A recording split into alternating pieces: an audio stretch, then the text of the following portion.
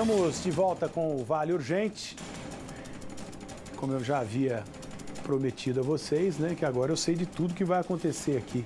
Vem para a câmera 2 aqui, ó.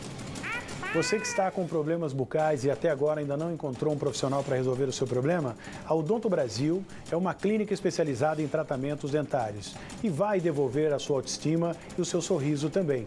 Os profissionais da Odonto Brasil já reconstruíram o sorriso de muita gente. São mais de 80 aliás, mais de 8 mil, posso falar assim, 80 mil? Mais de 80 mil, vai, implantes instalados na região. Muita gente sorrindo né, e, restabelecendo aí a autoestima. E vamos ouvir agora o que diz o senhor Antônio depois que ele fez o tratamento. Põe ele aí para a gente acompanhar. Eu fiz implante lá no Donto Brasil Água Verde. A gente assistiu na televisão aí a propaganda, né? E daí a gente ligou lá e marcamos a consulta e fomos lá muito bem atendido. É, foi que eu, eu tinha diabetes e eu tinha medo de, de fazer, né? Porque é muito, muito legal, não dói nada mesmo, nem anestesia não dói, né? Só alegria agora, só comer churrasco. Churrasco e bom chimarrão. Vem para um aqui. Coloca para mim aí já a Renata para falar comigo. Dois indivíduos foram presos após uma perseguição na cidade de Jacareí. Como é que foi isso, Renata? Boa tarde. Oi, Tony. Boa tarde. O crime aconteceu sábado de manhã. Os bandidos tinham acabado de roubar um carro em São José dos Campos e quando viram a viatura da polícia, eles começaram a fugir. A polícia saiu em perseguição e já na Via Dutra, na altura de Jacareí, o motorista que estava dirigindo o carro roubado perdeu o controle do veículo, bateu no canteiro central e capotou. Por sorte, um, nenhum carro que vinha atrás bateu no veículo e os bandidos também não se feriram. A polícia encontrou um revólver calibre 38 no carro e eles assumiram que iriam fazer um assalto. Então, ambos foram presos em flagrante, Tony. Muito obrigado, Renatinha. Obrigado, viu, Renata, pelas informações. Vem aqui para a câmera 2. Olha, entre a noite de sábado e a madrugada de domingo, quatro casos de roubos foram registrados na região da costa sul de São Sebastião. Isso no bairro Cambuí, é onde tem uma pousada. Os indivíduos invadiram a pousada e levaram todos os pertences. Roubaram, armados, não levaram tudo que os hóspedes tinham em mãos.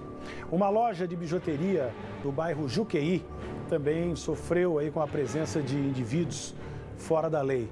Dois homens armados que levaram as mercadorias, como celulares, dinheiro do caixa. A sorte que não havia ninguém, ou seja, cliente, né, na hora, senão ia sofrer aí as consequências também. No bairro Boiçucanga, uma loja de fast food foi assaltada. Uma pessoa armada levou 90 reais em dinheiro. E em uma residência no bairro, é bairro do Sai, né? É isso? Ou do Saí? Hein? Do Sai. No bairro do Sai, Saí? Do Saí. Só retificando aqui, no bairro do Saí, sete turistas foram feitos reféns. Três bandidos levaram os pertences, como celulares, relógios, tablets e dois veículos. Os assaltantes ainda levaram uma das vítimas até, isso é comum, né? Até o caixa eletrônico para fazer o saque de dinheiro. A Polícia Civil está investigando todos os casos, apesar dos bairros serem bem próximos, os suspeitos né, que participaram aí é, não fazem parte do, do mesmo grupo, pelo que a gente tem aí de informação. São grupos diferentes e a polícia, com toda certeza, vai chegar até esses indivíduos o mais rápido possível. Chegar até os indivíduos é uma questão de tempo. E às vezes de muito tempo, né? Vamos voltar a falar de saúde aqui. Saúde, a turma, tem um, até um ditado aí de um, um, um comediante, né? Saúde é o que interessa. E é verdade. Sem saúde a gente não consegue fazer absolutamente nada, né? Positivo, né? Tony. Sabe os casos que a gente tem mostrado aqui no programa? Então, tem o caso, o primeiro caso do senhor Roberto José de Oliveira Ramos. Ele que precisa colocar aí um catéter, que é o, chamado CDI, né? Deixa eu ficar aqui, ó, que dá para mostrar aqui. Olha só. E nós já temos aqui a informação, né? Hoje ele está passando pela consulta e essa consulta vai definir o dia da cirurgia dele. Eu acho bacana isso. Viu, secretário de Saúde de São José dos Campos? Isso é legal, secretário. Não adianta passar o pano, né? Assessor querer conversa fiada aqui. Aqui eu faço o que eu acho que devo e eu respondo pelo que eu faço aqui. Então aqui tem homem e profissional. E parabéns, secretário, por essa avaliação aí desse caso, viu? Já no caso da Caroline Maria da Conceição, e, e que no início, né, ela falou pra gente, estava aí com o começo, essa senhora aí, de câncer no colo do útero, já marcado para o dia 16 da semana que vem. Ela tá feliz pra caramba. É da semana que vem? Hein, Malu? Semana passada é da semana que vem, né? É isso? Dia 16 é a semana que vem. Ou não? Ou desta? Então tá errado aqui, ó. Então é dessa semana, né? Então é desta semana, gente. 16 agora. E hoje é dia 14, é isso, Piu Piu? 14, 15 e 16. Então é depois de amanhã. Tá? Pronto, já mudaram ali. Parabéns aí, viu? A senhora vai parar de sentir dor, se Deus quiser. E tem o caso, né, da Simone do Carmo, essa, essa moça que se alimentava por sonda. Olha aí que situação é essa, hein? É duro, né?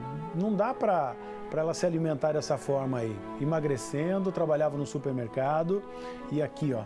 E aí o que que a gente fez? Mostramos, pô. Então, pessoal da assessoria, não adianta vocês ficarem puto da vida do pessoal procurar a gente. Procura, porque aqui tem solidariedade. E se de repente falar, não vamos resolver, eu resolvo! Dentro das nossas limitações. Eu não sou médico, mas eu posso contratar um médico viu? Não sou enfermeiro, mas eu posso contratar um enfermeiro.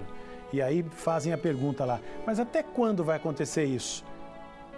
Deus é quem sabe. Até quando Deus ajudar a gente? Aí a gente vai estar fazendo isso aí. Parabéns aí, viu, Simone? Já falamos com a Simone hoje, né, ô, ô, ô Malu? A Malu mostra, fala aqui comigo. Agora nesse trem aqui, ó, dá para falar com a Malu, né? Ela disse que já conversou com a Simone hoje. Ela está se recuperando da cirurgia que legal isso, né? Eu tenho que rir aqui, eu tenho que dar, quer dizer, estou feliz, né? Então a gente tem uma expressão feliz aqui no programa. Parabéns aqui, né? A senhora que foi atendida. Secretário, isso é bacana, viu? Paulo Reutberg, quero fazer isso. Ninguém é contra ninguém. Eu não gosto de ouvir buchicho de assessor aqui, que eu fico puto da vida. E é isso aí, vem pra cá.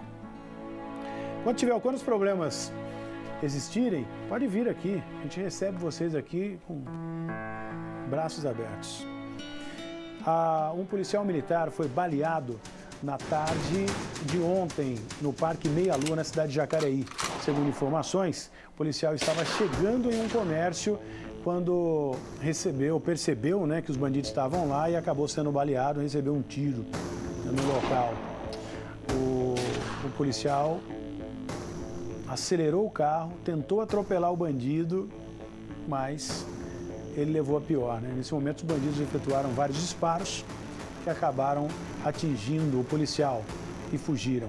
O militar foi atingido por três disparos.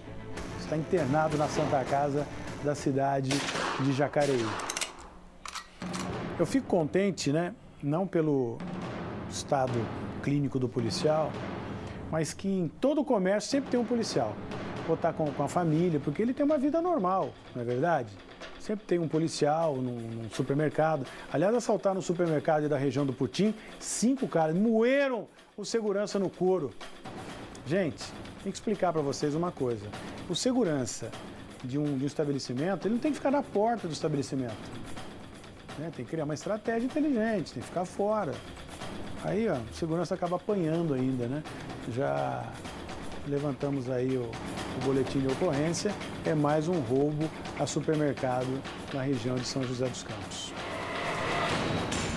Bom, você pode participar do Vale Urgente, liberado aí o nosso telefone é o 9711 1313, opção 2, depois opção 1, para o Berra Bairro. Não esqueça de deixar o seu nome e a cidade de onde você está falando. Pode mandar os seus e-mails também para urgente@tvbandvale.com.br ou no Facebook, né? Estamos aí no Face aguardando aí a sua mensagem, a sua sugestão para que a gente possa te ajudar.